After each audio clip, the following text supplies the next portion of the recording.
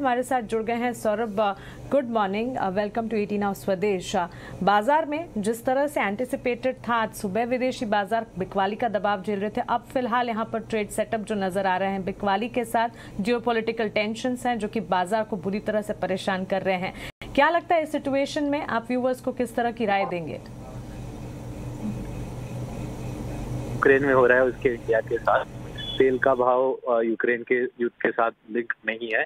मानसिक जो सोच है कि चीज़ों की चीज़ों को लिंक करनी है, वो गलत सोच है।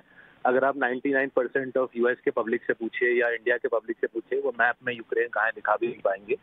तो यूक्रेन में ज़्यादा समय नहीं गंवाना इस मुद्दे पे। It's a great power conflict Ukraine एक पौन है, एक पौधा है as USA and Russia fight it out India की इकोनॉमी रिकवर कर रही है हिंदुस्तान में जो रिकवरी है, उस पर फोकस करिए शांति से अच्छे कंपनीज़ पर निवेश कीजिए। ज़्यादा न्यूज़ फ्लो में आके ग्लोबल मैक्रो में उलझ के ज़्यादा दिमाग खपाने की ज़रूरत नहीं है। वेरी वेल सेड प्रियंका यार एब्सोल्युटली एब्सोल्युटली इनफैक्ट ऐसे सिचुएशंस पे जब पैनिक बहुत ज़्यादा होता है तो व्यूअर्स को इन्वेस्टर्स को यही वर्ड्स ऑफ़ विजडम चाहिए होते हैं उन मार्केट पार्टिसिपेंट से जो कई डिकेट से बाज़ार को वॉच कर रहे हैं। आई एम श्योर आपकी स्टेटमेंट बाज़ार में व्यूअर्स को और इन्वेस्टर्स को थोड़ा हौसला देगी। तो एक अगर very quick review I am sure आपने हालाँकि बहुत एक्सप्लिसिटली अपनी अपनी पिक्स और अपनी पसंदीदा स्टॉक्स हमसे शेयर किए हैं but what would you pick in this kind of market इस वक्त आप बैंक निफ्टी पर सबसे ज़्यादा कारनेज देख रहे हैं। देखिए बैंक निफ्टी तो आई थिंक अब शायद फ्लैट हो गया होगा Y O Y before this before the Ukraine drama it was up चार पाँच परसेंट अभी शायद फ्लैट हो गया होगा। और मज़ाक, मज़े की बात यह है कि अच्छे जो बैंक्स हैं, अच्छे जो बैंक्स हैं जो हमारे पोर्टफोलियोज में है, मेरे खुद के, मेरे खुद के जो मार्शल्स के पोर्टफोलियोज हैं, उसमें भी है। उनका लोन बुक ग्रोथ कर रहा है करीबन 25 परसेंट से whether it's H D F C bank या कोटक बैंक हमारे जो एनबीएफसी होल्डिंग्स है मार्सेलस में आ, आ, उनकी भी लोन बुक ग्रोथ भी 25 परसेंट के करीबन चल रही है। पुशिंग टूवर्ड्स एक्चुअली अब 30 परसेंट की तरफ़ लोन बुक ग्रोथ जा रही है। बजाज फाइनेंस आवास और चोला मंडलम जैसे मैं एनबीएफसी की बात करूँ हाउसिंग फाइनेंस कंपनीज़ की बात करूँ।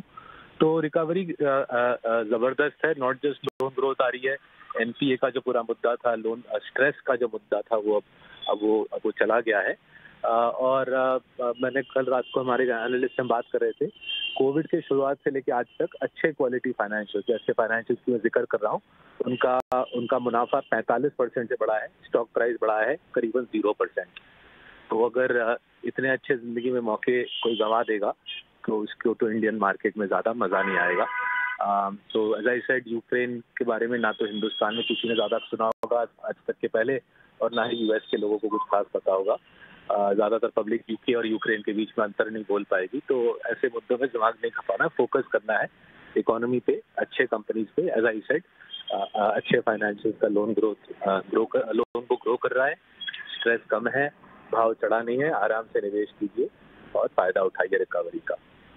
बहुत ही शानदार। सौरभ और विकास दोनों ही एकदम मंझे हुए प्लेयर्स हैं, बहुत अच्छे अपने पीएमएसएस चला रहे हैं बहुत ही काम वे में आज हमारे व्यूअर्स को एक्सप्लेन कर रहे हैं। एक सवाल मैं आपसे लूँगा सौरभ, मुझे पता है ऑफ़िस के लिए निकले हैं तो टाइम कम है आपके पास। वो ये है कि अगर कॉन्फ्लिक्ट होगा ग्लोबल ग्रोथ इम्पैक्टेड होगी तो क्या ग्लोबल सेंट्रल बैंक्स भी उतना जिस हिसाब से टाइटन करने वाले थे, शायद वो एक पुल पुश एक एक स्टेप बैक ले लें, ऐसा भी हो सकता है क्या?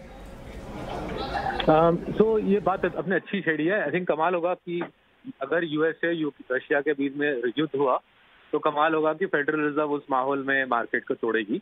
वैसे ही मेरा ख्याल है जिस जिस प्रकार से यूएस की फाइनेंशियल सिस्टम इंडेटेड है फेडरल रिज़र्व के पास कुछ खास हेडरूम नहीं है रेट हाइक्स की। तो उसके ऊपर उसके ऊपर अगर इतना बड़ा इतना बड़ा जियो एक फेस ऑफ़ हो जाएगा तो फेडरल रिज़र्व के लिए और भी मुश्किल हो जाएगा रेट हाइक करना। वैसे भी जैसे हमने अपने लास्ट वीक अपने रिसर्च नोट पे समझाया क्लाइंट्स को जब रेट हाइक्स होते हैं यूएस मार्केट ऊपर जाती है, सत्तर साल का डेटा है। जब रेट हाइक्स होते हैं इंडियन मार्केट ऊपर जाती है, चालीस साल का डेटा है। तो रेट हाइक्स वैसे भी चिंताजनक सिचुएशन नहीं है और उसकी संभावना अगर चिंता की चिंता की जो भी संभावना थी, वो धीरे धीरे चली जा रही है, जैसे ये जियो सिचुएशन डेवलप हो रहा है।